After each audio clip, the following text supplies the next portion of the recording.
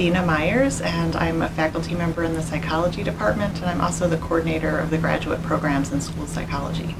Yeah, I learned about it through my involvement on the Textbook Affordability Committee, which I joined um,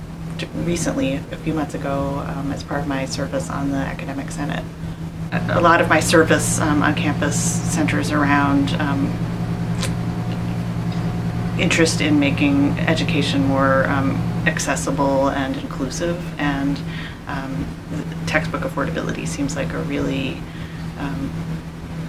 important part of that, that whole equation, and also the, the fact that there's a committee on campus that's working to come up with practical solutions that, um, that really move things forward in terms of um, access and, inclu and inclusiveness, I think, is, is the kind of service I want to be doing.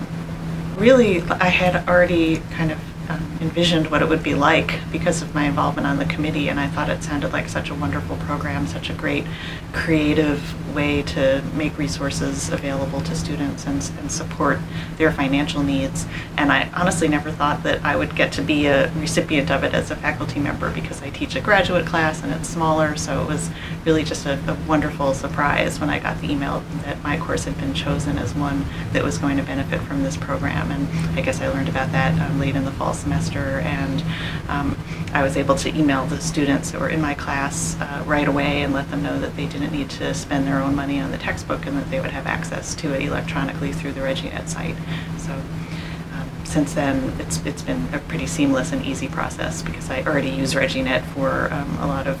reading resources that, that are also supported by Milner, and um, so it was just one more thing that they could access on there, and, and one big uh, cost savings for them. If I ever have another opportunity to do this, I would jump on it. I think that it's it's really a win-win for them, the, the faculty and the students, and even the um, the textbook publishers and authors. this is um, a textbook that the one that was picked for my class is one where I know the authors, and so um, it feels good to me to know that I'm able to make this available to my students at a um, at, at, no cost to them, while still,